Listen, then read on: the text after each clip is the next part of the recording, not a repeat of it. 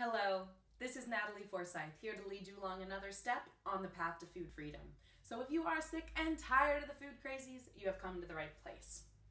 Do you feel like you just don't have enough willpower to control your emotional eating and your binge eating?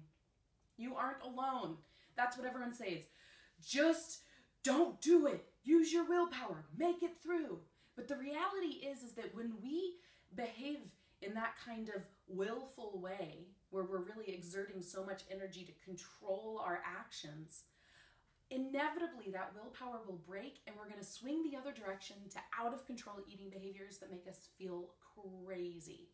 So instead, I want to offer a perspective shift on willpower that it isn't the solution, it's actually the problem with your eating behaviors that trying to control will inevitably always backfire.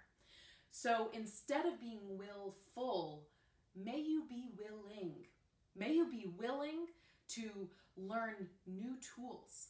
May you be willing to make different choices. May you be willing to get the support that you need to actually figure this food thing out once and for all. So, today for your tiny action, I want to offer you this simple phrase that you can say to yourself in your mind when you notice yourself going into that willpower place. And that is, I am willing to make a different choice right now. I am willing to make a different choice right now. And then see what happens. I'd love to hear about it.